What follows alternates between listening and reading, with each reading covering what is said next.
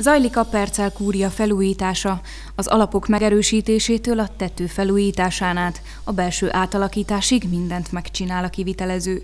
A Bonyhádi önkormányzat a tavalyi év során másfél milliárd forintos állami támogatást kapott a sportpálya felújítására és egy sportrekreációs központ kialakítására.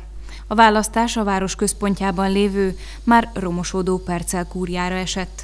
A több mint 200 éves ikonikus épületet az enyészettől mentette meg ez a projekt. Komoly szerkezeti átalakítások voltak, úgy, hogy a, a magának az épületnek a jellege kívülről és belülről összességében nem változott meg. Tulajdonképpen minden, minden fel lesz újítva az épületbe, tehát teljesen, teljes rétegrend készül, új vakolatok, új homlokzat színezések, új nyílászárok. Az épületben apartmanokat alakítanak ki, de terveznek bele szaunát, konferencia és edzőtermet vagy jacuzzit is. A sportközpont nem csak szállás lehetőséget nyújt majd, rendezvények megtartására is alkalmas lesz.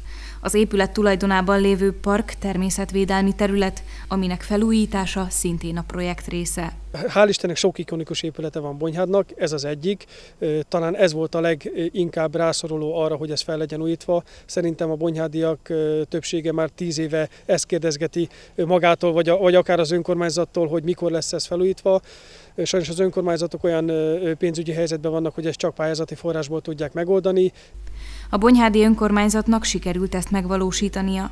A munka megfelelő tempóban halad előre, és úgy néz ki, hogy a vállalt határidőre be is fejezik azt. Mivel az épület műemlékvédelem alatt áll, így új köntösbe öltöztetve őrizheti meg régi pompáját.